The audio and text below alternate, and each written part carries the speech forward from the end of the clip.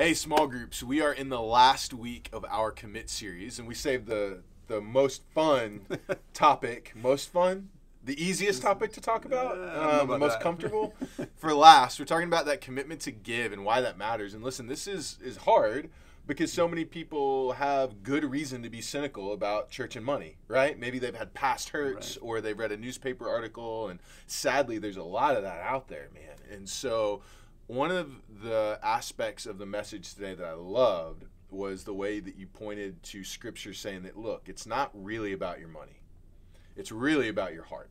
Right where the heart is, there your treasure is also. And the reason that money is so important isn't because it buys stuff, but it's one of the best indicators of our hearts out there. Right? I, I don't spend money on stuff I hate. You know what I mean? Not my extra money, like bills, all that, whatever. I don't spend money on stuff I hate. So, my question for you is you said that you've really moved drastically into obedience with your money Yeah. because for a long time you weren't where you were supposed to be.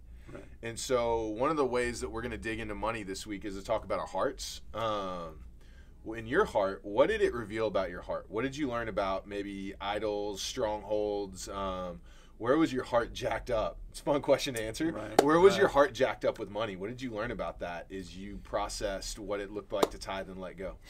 Yeah. um, well, I think I'm still learning. Yeah. Because it's and we've had tons of discussion just of like because something will break or go bad, and even if you got the money, you're like, oh, and there's Yeah. something about it that you know. Steph and I've had a lot of conversations along the way when something will happen. Like she'll be like, "Oh, the furnace this or that or whatever," and it will like it'll just melt me down. Now more in the past than it does now, and she's like, "What? What is it with you?" So she's asked the same question. I think with me, um, when I peel it all back, um, it becomes like this huge trust issue Yeah. of like, um, well, who do I really trust or not trust? And I don't know if how true it is for other people, but um, for me, if I'm not careful, I can feel like I, I win or lose based on if I have enough money saved up or if I've got this or if this doesn't break and I can take care of it. But when I'm, and I've had stuff happen where I'm like, I have this big need and I don't have enough money for it now. What's the deal? Because I've been tithing God, and it's all about, it's all about who do you trust? Who do you trust? And so, for me, it just revealed a lot of a lot of issues where I had to, to say to myself, man, I'm really trusting more in myself than I am in God. And so we actually started tithing. We were in, long story short, we were in um, a lot of debt, a lot of credit card debt early in our marriage. And when I when we twisted everything around, um, we started tithing while we were in debt, which is like what? That's kind of crazy. But what was revealing to me is that I had to say, God, I'm trusting you. I'm trusting that you're going to help me uh, along this way. But I'm, I'm I'm physically saying with my money, I'm trusting you. I'm not sure how this is going to work, but I'm going to trust you. Then the other side of it is when stuff blows apart. I'm like, hey God, um, hey, our car needs new tires like God, you're my car. That, that car of yours that I'm driving, it needs new tires. And he's so for me, it's it's a lot of trust issues. and even when things come up now, because I think it was in me as a, as a younger guy, um, I have to stop and say, no, wait a minute. Who are you trusting in this? Is this are you trusting in the Lord, or are you are you really trusting in money to take care of Yeah. the problem? Yeah, yeah. No, absolutely. And I think that's such a, a deep picture of this core part of your faith.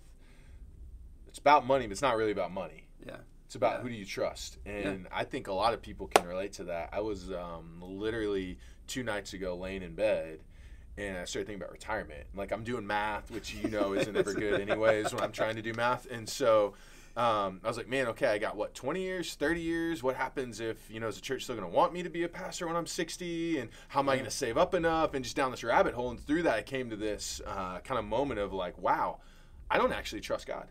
Mhm. You know, I don't actually believe that God wants what's best for me. Why?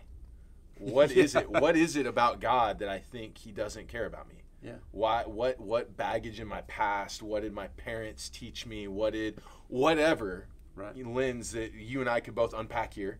Uh, I'm not gonna make you do that, but um, but yeah, I just had this moment where I was like, I'm worried that I'm not gonna have enough. What am I gonna do? Because God's not gonna show up. Yeah. Why do I think God's not gonna show up? I got there because money. Yeah. You know, that's Yeah. why money matters. It's not. It's not because you want to have a private jet. You know. Right. Um, And I think that's that's often why the Lord doesn't bless us is because if I had if I had a half mil in the bank, which I'm a long way away from, Yeah, right? yeah, yeah, yeah. But I'm like, man, how much would I really trust the Lord? Because what could come up that I couldn't take care of with my money? And I think the Lord's. You go back to the psalmist, which says, you know, or like the, the prayer that says, "Give us today our daily bread." Mm-hmm. You know, God, you're gonna give me enough for today. When the psalmist talks about. Um, uh, you make me lie down in green pastures. Green pastures are actually come up for that day. Yeah. So the Lord's just saying, trust me for the day. And so that's where I have to be. Um, and say, like, okay, God, this may not make sense here. These numbers may not do, but I am trusting you. And I'm physically showing that I trust you, but I'm returning to you this. And it's a it's a heart thing. And I would say, is it getting easier? I think it's getting more common, but just like I talked about today, we have those those cards that that we do every fall. So Steph and I'll sit down. We'll have the same conversation I have every fall. We'll put down a number, and I'll look at that number and go, "Oh my gosh, man!" Not that it's because I'm not making millions, but I'm like that. I'm like I translate that into that's every month. I could have a sweet new Harley Davidson for that. You know what I mean? And Steph will look at me and go, "Well, we could not tithe." and for a millisecond, I'm like, "Oh yeah," and I'm like, uh, "No, no, no, no," because it's an issue of obedience. It's an issue. When I talk about, I walk around in Malachi chapter three, um, just the blessings of the Lord that He brings in on that. We're not obligating Him to do that, but He often does that. Uh, and it's like I want Christ to know, like, man, I do trust you, and I'm gonna, I'm gonna trust that whatever comes up is not gonna be in the number on my bank account, or if I have a job or not, it's gonna be in you. And that's something I just have to walk in every day. Yeah. I think that's awesome. So as you guys talk about this in your groups and you really dig into this and get vulnerable with each other, what's hard about trusting God? Why, why do you believe that He's not for you? Where where do you feel like He hasn't shown up? And what does it look like as a community for us to remind each other about the faithfulness of God? And so I really hope that this is a week where you guys can crack into your hearts and just kind of let money be the crowbar, you know, that gets into some of those deeper issues. All right, hey, I, I am praying for you guys. We love you guys. We're so happy that we're walking through this with you.